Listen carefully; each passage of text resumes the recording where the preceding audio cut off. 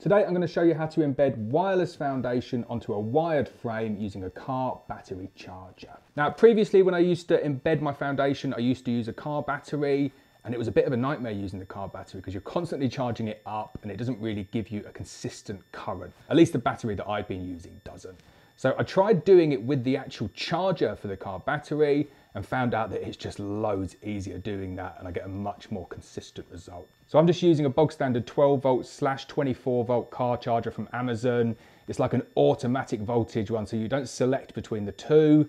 Bit gutted because I wanted the 24 volt variant, but it works just as well and it's only about 23 pounds when I bought it. So I'll stick that link up at the bottom of the video if you want to buy this exact charger. But in this video, I'm just going to run through a really quick process for embedding that foundation onto a wired frame. So first thing you need to do is get your frames fully wired using a stainless steel wire preferably, if not a galvanized wire. Make sure they're really nice and tight. If they need tightening, tighten them up before you put the wax on. And all you're gonna do is plug in the car battery charger and place the frame on a stable worktop. What I like to do is then connect the black terminal to the frame and then I place my piece of foundation directly onto the frame and all I do with the red terminal is I just go and tap the other side of the wire.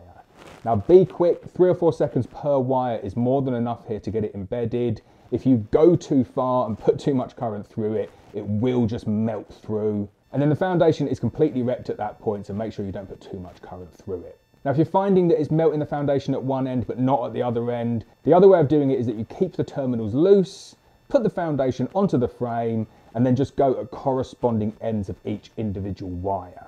I know it's just one wire that's going through, but you've essentially got three or four single wires on that frame, and all I do is just put a positive at one end and a negative at the other end, and the beauty of this machine here using the car charger as opposed to the car battery is that when you make a full connection, the fan comes on and you kind of get that audible feedback to make sure that you're actually putting the correct amount of current through.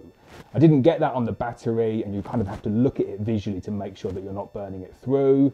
Using the car battery charger, I found I have far fewer frames that I actually damage where I'm wrecking the foundation. So this is the end result. Obviously, don't leave massive gaps at the top like here. This is just a national piece of foundation on a Langstroth frame, just to show you the process. But you can see if I shake it around like that, that's in real time, not going anywhere, really well embedded onto that frame. And that frame there is good to go into a colony.